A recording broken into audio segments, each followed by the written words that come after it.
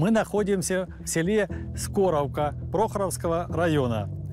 В моих руках фотография, которая была сделана 14 июля 1943 года вот в этом селе офицером для особых поручений подполковником Гапочкой. Сделал эту фотографию через двое суток после знаменитого контрудара войск Воронежского фронта под Прохоровкой, где ключевую роль должна была играть 5-я гвардейская танковая армия под командованием генерал-лейтенанта Ротмистрова.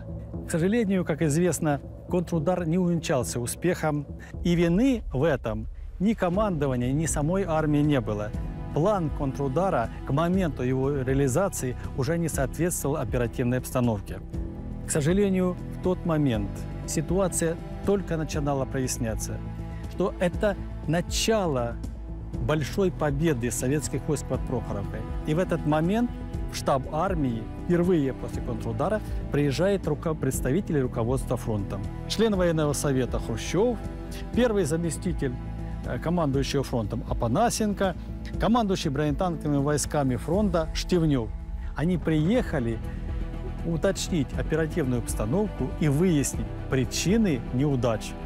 Фотография уникальна не только тем, что это один из редких снимков периода Прохоровского сражения, но и то, как фотограф интересно ухватил момент, настроение, трагизм ситуации для командующего. Молодой, перспективный генерал, герой Сталинграда, награжденный орденом Суворова второй степени, которому Сталин поручил первому формировать танковую армию однородного состава. Сжатые руки, вытянутый струнку и чуть нак- наклон головы говорит о высоком напряжении человека.